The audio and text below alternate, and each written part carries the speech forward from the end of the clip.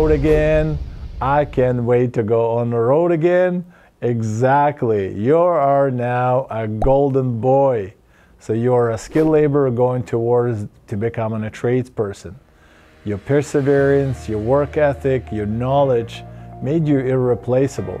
How would you like to be a go-to guy on site? So uh, the next uh, two to four months uh, for Golden Step in our Steps of Achievement would be focused more on carpentry skills in a rough carpentry, in back framing, uh, doing a lot of uh, concrete work and form work, doing some rebar reinforcing, and also rigging and crane operations.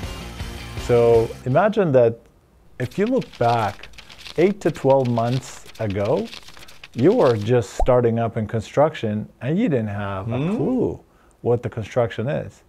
8 to 12 months fast forwarded, you see that now you have the skill of operating machinery, equipment, knowing how to uh, use hand tools and power tools, helping as a rigger, helping the uh, crane operators, and possibly having your elevator operator uh, ticket and hoist ticket and maybe a traffic control ticket.